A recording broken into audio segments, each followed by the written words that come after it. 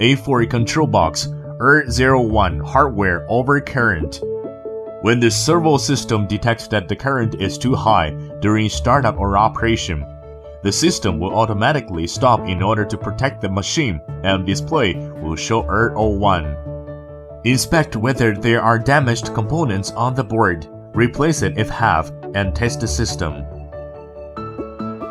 If don't find damaged components or after changing damaged components and the electrical control is still not working, go to the next step.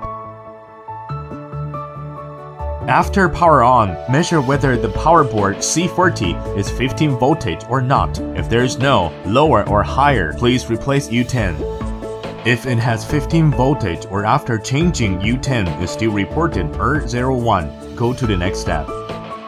Check 6 IGBT, Q17, Q18, Q19, Q21, Q23 to Q24 with diode gear to see if there's any damage or not.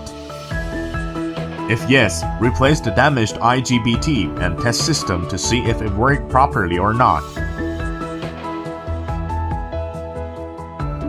If there is no damaged IGBT or after the damaged IGBT is replaced but still show error, then please go to the next step. Test whether the TVS3, R151, TVS2, and R150 are damaged with resistor band and diode gear. Note, when testing TVS2, TVS3, please remove from the PCB. Test system after replacement of the damaged component.